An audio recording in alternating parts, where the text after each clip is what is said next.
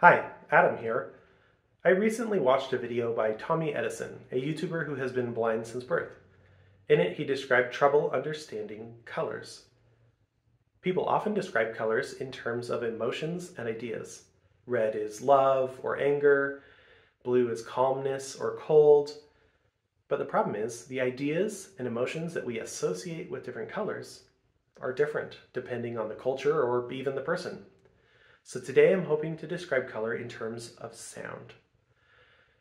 If you're blind and are listening to this video, I'd really appreciate if you could leave a comment below and let me know if this is helpful or if there's something that I should be doing differently.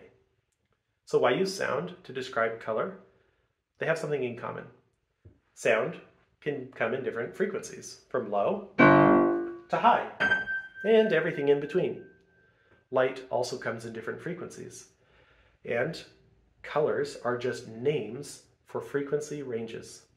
Starting down low, we would have red, then orange, yellow, green, blue, and purple. How do we tell all these apart? Well, the truth is, we only tend to agree on high-level color names, like the six that I've just given you. In between them, it gets a little confusing. For example, if this is yellow, and this is green. What's this in between? Some people would say it's yellow. Other people would say it's green. And still other people would give it a new name like lime or chartreuse. Also, to be clear, I'm not saying that sound and color are the same, just that they have different frequencies, and that's a property they have in common.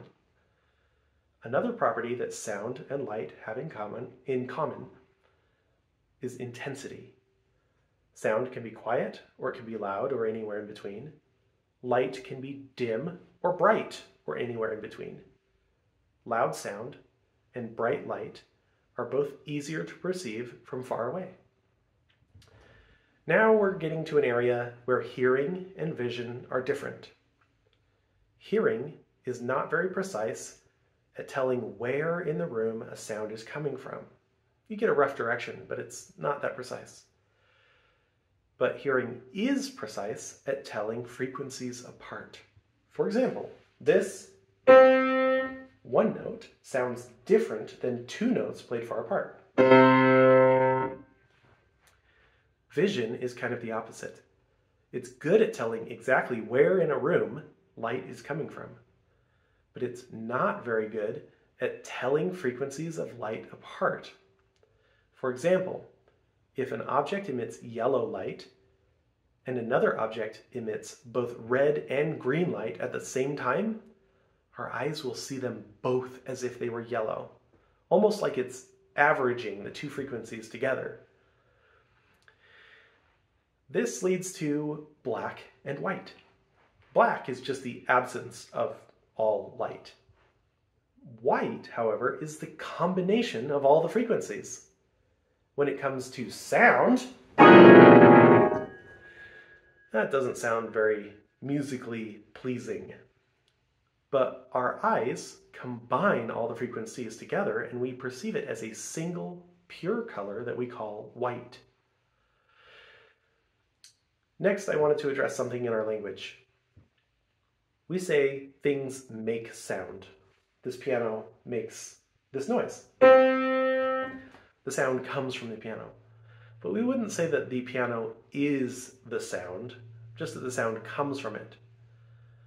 That's not true of color. For some reason, we say, my shirt is blue. In both cases, color and sound are just properties of a thing. Just because two things have the same color doesn't mean they necessarily have any other properties in common. Just like if two things make the same sound, they don't necessarily have other properties in common. Lastly, I wanted to talk a little about transparency. You may wonder how it is that we can see through solid objects. But if you think about it, it's not as confusing as you might think.